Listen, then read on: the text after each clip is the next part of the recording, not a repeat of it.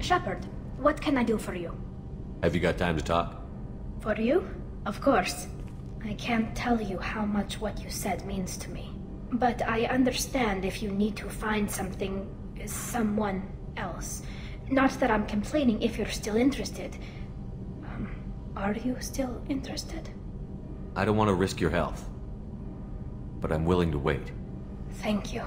I want you to see what's under this damn helmet. I need to feel your skin against mine. To share myself with you before we fly off into the final battle. I'll find a way.